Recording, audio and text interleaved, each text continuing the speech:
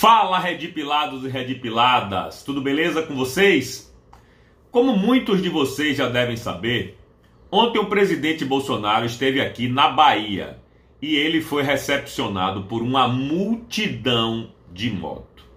Então eu gostaria com muito orgulho que vocês dessem uma olhada nesse vídeo. Roda a vinheta!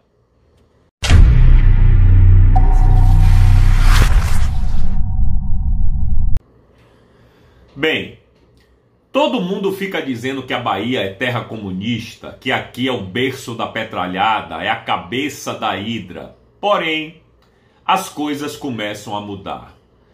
Quando o presidente Bolsonaro vem para a Bahia, a recepção a ele oferecida por nós baianos é imensa. Então ele pode ver o carinho que o povo baiano tem por ele, e a vontade que a gente tem de nos libertar desses malditos comunistas corruptos.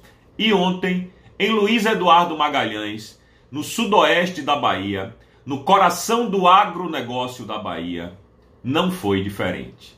E eu quero mostrar para vocês com muito orgulho como é que nós baianos recepcionamos o nosso querido presidente Bolsonaro ontem em Luiz Eduardo Magalhães. Então dá uma olhada nessa motociata que realmente foi de encher de orgulho qualquer patriota e principalmente os baianos. Roda o vídeo.